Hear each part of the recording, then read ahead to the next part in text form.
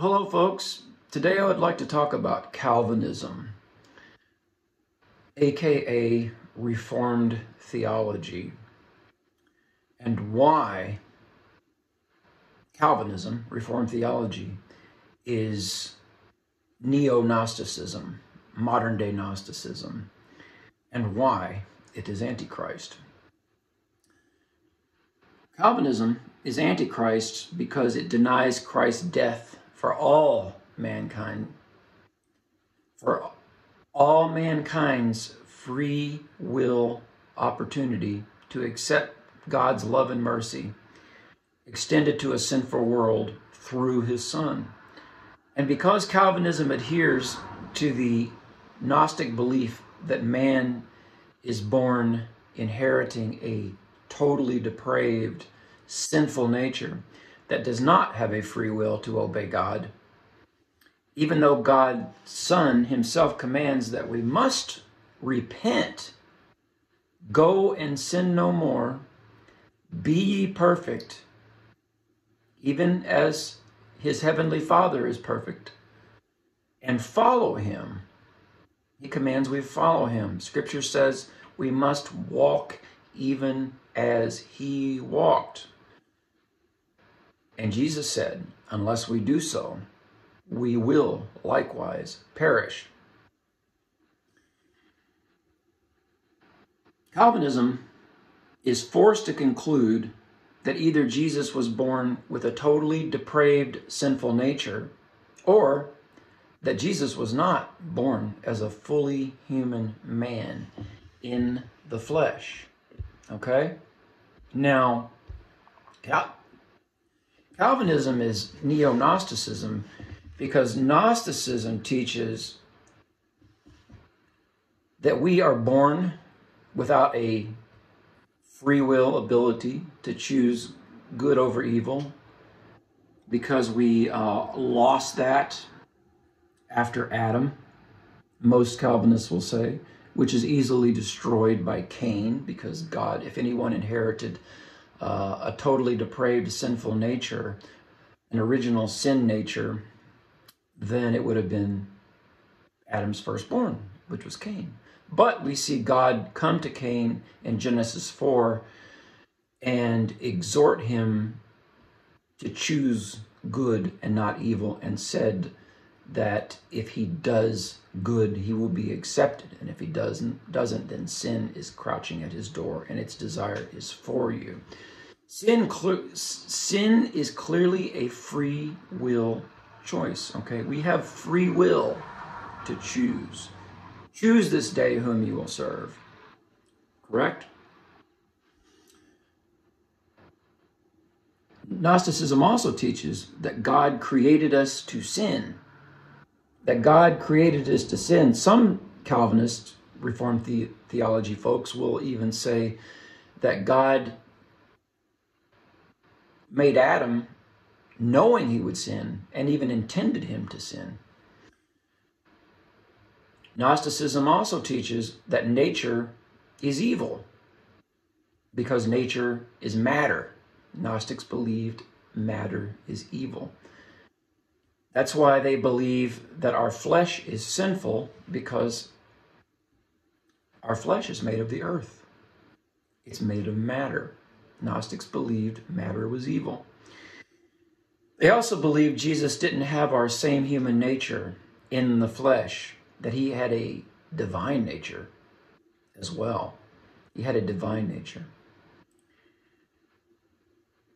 Gnosticism teaches that we can't avoid sinning, that we can't stop sinning until we die. Gnosticism teaches that God is a sovereign monster who reserves the right to be unjust if he so decreed it, so decrees it. and that the Gnostics believed that they were elect because they had a special knowledge. And the word Gnosticism is from the Greek word gnosis, which means knowledge. You see, this is the very same mindset, the very same belief system that Calvinists have today Reformed theology. Like I said, Gnostic gnosis means knowledge, which we see big time in uh, the Reformed theology, Reformed theology circles and Calvinism, because there is no group who is more into theology um, and knowledge uh, and philosophizing and it's all about hermeneutics and uh, exegesis and eisegesis and this and that. It's salvation through knowledge. It's through salvation through knowledge. Which Reformed theology, Calvinism, is the epitome of. They think they have God and Jesus all figured out. Even though Jesus was clear that who he is, who he is, comes to us not by flesh and blood, by human knowledge, but solely from divine revelation, directly from God the Father. In short, Calvinism is Gnosticism, which John, the Apostle John, called a deceiver and an antichrist. John called the Gnostics deceivers and antichrist. And to prove that they are Gnostic antichrists, Calvinists, just ask them if we are born corrupt. Because that is precisely what Gnostics believe, who John called antichrists. Because they denied Jesus came in the same exact flesh that we inherit from Adam. Why? Because if original sin inherited depravity, total depravity as they call it, if that's if those are true, if the Augustinian Gnostic doctrine, and Augustine was a Manichaean Gnostic, by the way, folks, who came up with the doctrine of original sin, which the early church did not believe prior to Augustine. They believed in human free will ability to choose, to choose salvation, to choose good over evil. So just ask them if we, to prove it, if they're Antichrist, Gnostic Antichrist, just ask them if we are born with original sin, if we're born totally depraved. Uh, some Gnostics, I mean, Calvinists, will even go so far as to quote uh, their beloved uh, West from their Westminster Confession that say, "We sin every day in word, deed, and thought." Okay. Now, just ask them if we're born inheriting sin, because this is precisely what the Gnostics believe, who the Apostle John called antichrists because they denied Jesus came, like I said, in the same flesh as us, the same flesh that we inherit from Adam. Why? Because if original sin is true, if it's the true, then either Jesus Christ was born corrupted by sin, born sinful, born a sinner, or he was not born as a fully human man from the seed of the woman, from the seed of David, that he is not a son of man, a son of Adam in the flesh. Calvinism is modern day Gnosticism, neo Gnosticism. John called the Gnostics deceivers who had the spirit of Antichrist. You see, Calvinists are forced to do away with human free will because they adhere to the Augustinian Gnostic doctrine of an original sin nature that says we inherit this totally depraved sin nature from Adam that will sin, that has no choice to sin. We will sin. Even after being born again as a new creature, where all things should have passed away. Yet, they believe this, but they believe we have no free will, and they believe that they are saved. They believe that they are God's elect. Even after they have said that they have been born again as a new creature. All the while, deceived that they are living under condemnation. Romans 8 1. Romans 8 says, There is no condemnation for those who are in Christ Jesus, but there's a condition. Most people stop there. It says, For those, there is no condemnation for those who walk not after the flesh, but after the Spirit. Jesus walked after the Spirit. Jesus did not sin. Jesus commands us to go and sin no more.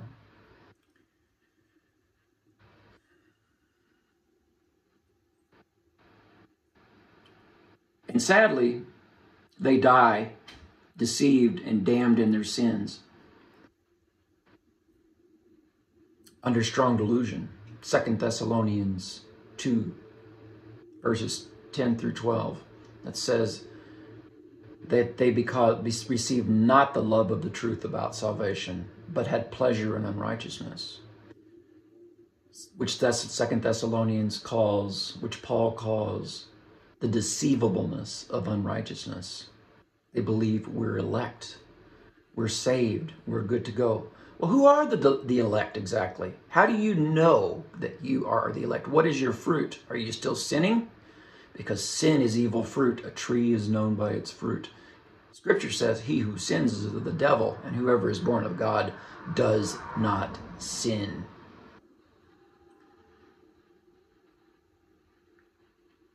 And they are under the delusion that Jesus saves them in their sins. When Scripture says Jesus came to save from sin,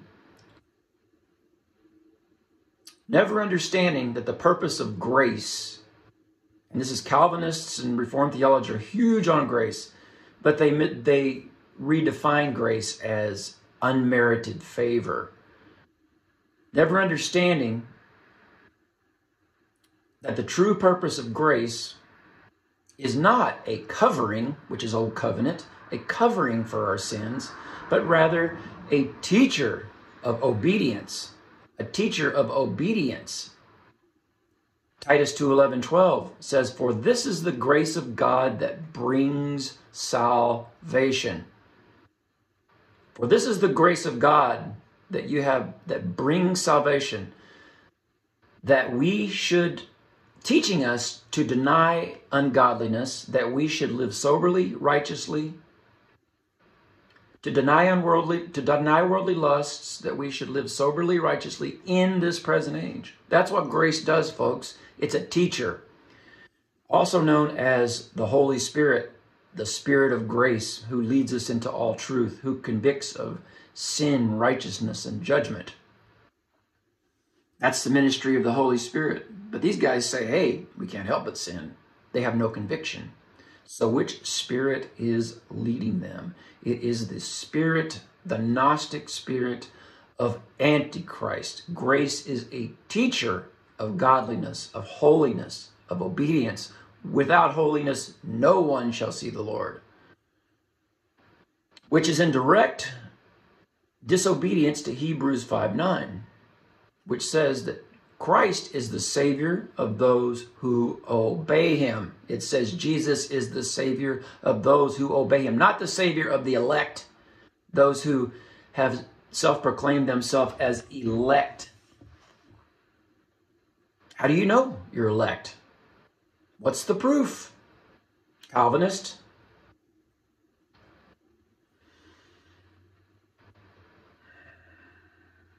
It's in direct opposition to Jesus, who commands that we must cease from all sin, repent, which is what repent means, and go and sin no more. And follow me, he said. Take my yoke upon me, yourself and learn from me and walk even as Christ walked, which is to walk after the Spirit, like Paul says. Those who, there is no condemnation for those who walk in the Spirit, after the Spirit, and not after the flesh. 1 Peter 4 1.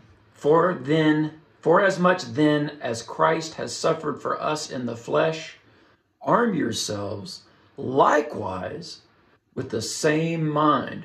For the, that he that has suffered in the flesh has ceased from sin. Let me read that again. For much, for as much then as Christ has suffered for us in the flesh, arm yourselves likewise with the same mind, the same mind of Christ. For he that has suffered in the flesh has ceased from sin. Now,